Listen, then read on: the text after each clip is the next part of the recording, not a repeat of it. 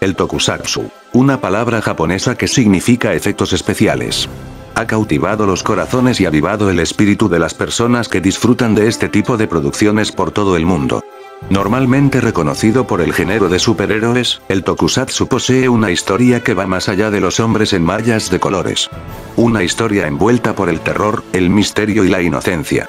Un medio el cual ha traído tantas risas como desgracias pero que han hecho avanzar las producciones hasta lo que conocemos hoy.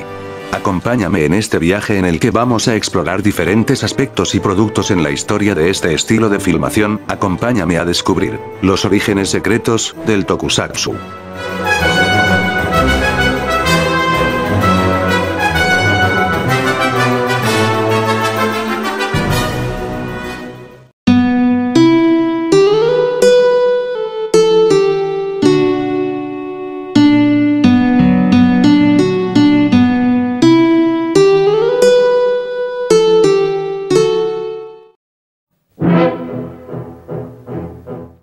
Generalmente, se reconoce a Godzilla como el que originó el género del tokusatsu.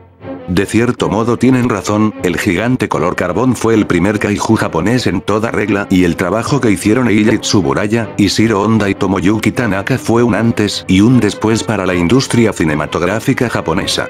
Aún con eso, como ya dije, Godzilla fue el primer kaiju japonés. Sin embargo tampoco fue la primera producción relacionada con monstruos en Japón.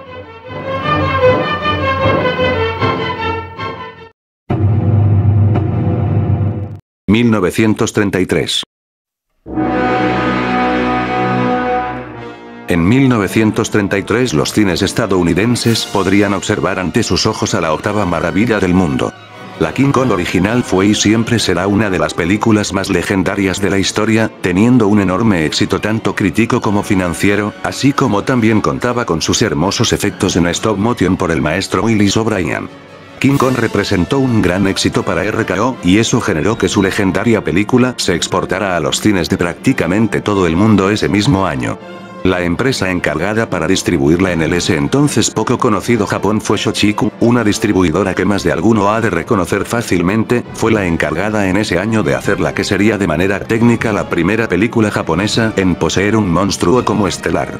Fue así, como en ese mismo año se estrenó, Wasei King Kong, la primera aparición de un monstruo gigante en una película japonesa. ¿O no? La realidad es que, Wasei King Kong en realidad no era ninguna película ni tampoco tenía algún monstruo. Este cortometraje hecho para promocionar la película original, era una comedia de cine mudo y de hecho, no utilizaba efecto especial alguno. Actualmente se encuentra en un estatus de Lost Media y lo único que se conoce verdaderamente de esta obra histórica son su sinopsis, su elenco y las imágenes que demuestran su veracidad. El filme trataba sobre un vagabundo llamado Santa, el cual tenía una novia llamada Omitsu. Como el padre de Omitsu no aceptaba la relación de su hija con un vagabundo, este lo separa para poder casar a su hija con un hombre de dinero. Santa deprimido y desesperado intenta conseguir un empleo, sin mucho éxito. Hasta que inspirado por el estreno de la original King Kong decide presentarle su idea al dueño de un teatro, así comenzando a hacer espectáculos vestido de King Kong y representando las escenas icónicas del filme en una ciudad miniatura. Una vez que vio a Omitsu y su prometido en el público, Santa se abalanzó precipitadamente contra ellos causando un alboroto por las calles, hasta que luego de noquear al novio de Omitsu y después de recibir su pago del teatro, logra casarse con la misma debido a su enorme éxito. Esta obra no es un tokusatsu como ya mencioné, sin embargo las personas normalmente la cuentan dentro de la etapa primitiva del género debido a su valor histórico para los fans de los monstruos. Tendrían que pasar unos cuantos años para que podamos ver al primer elemento del tokusatsu empleado en una película japonesa.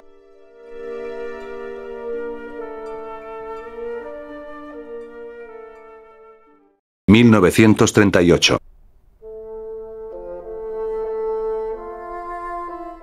En 1938 se daría el reestreno de King Kong, que al igual que en su año de estreno original, sería exportado a los demás países del mundo. Esta vez, de manera inesperada, aparecería una película especial con la misión de aprovecharse del fenómeno del simio gigante. King Kong aparece en Edo fue una película de 1938, igualmente muda y producida por Cinema Censo. Esta película, la cual es considerada la precursora en el género kaiju, era un filme dramático dividido en dos partes las cuales serían estrenadas entre el 31 de marzo de 1938 y el 7 de abril del mismo año.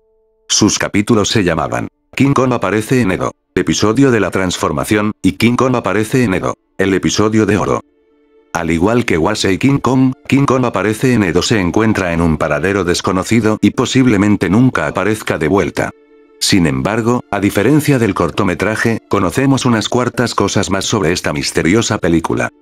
La historia de este drama era un poco más compleja que la del cortometraje del 33. La historia se basa en el secuestro y rescate de Chinami, la joven hija de Yotoba por parte de dos personas las cuales quieren vengarse de Toba debido a que los obligó a realizar un negocio turbio. El King Kong del título es representado como el gorila mascota del secuestrador de Chinami, el cual era una criatura antropoide con apariencia de pie grande. Aún así, a pesar de que dentro de los promocionales se vea al simio con una apariencia gigante, varios historiadores han llegado a la conclusión de que en realidad todo se trató de un engaño por parte de Censo, debido a que relatan que el antropoide visto en la cinta era de un tamaño regular. Esto combinado a que esta película tiene a King Kong solamente como un adorno, deja pensar que este filme fue hecho solamente para capitalizar en la figura del simio gigante para conseguir dinero fácil. Aún así se han creado diversas teorías sobre el estado del monstruo debido a que no queda muy claro si verdaderamente era gigante o no. Aparte de esto, de lo poco que se sabe es que según las declaraciones del legendario Fuminorio Ashi, creador del traje de Godzilla, se sabe que el antropoide de esta película fue diseñado y modelado por él. Cito lo siguiente. El primer modelo que se contó como dirección de arte especial en el cine japonés fue un gorila gigante que hice para la película King Kong aparece en Edo hace unos 50 años. También fue la primera película en presentar ciertos tipos de efectos especiales.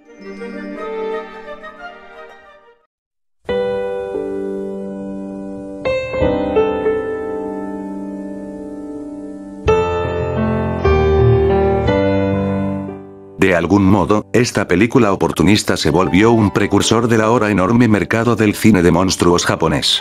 Contando dentro de sí, al que podría considerarse tanto como el primer kaiju como al primer kaijin del tokusatsu. Ahora, ¿por qué se perdieron? Realmente no se sabe. Pero lo que las personas teorizan es que las cintas que contenían estas películas fueron destruidas a consecuencia de los bombardeos en la Segunda Guerra Mundial. Aún así, hay personas que siguen con la esperanza de que algún día estas dos piezas de valor histórico para el medio puedan resurgir de sus cenizas. Aunque lo más probable es que nunca lo hagan.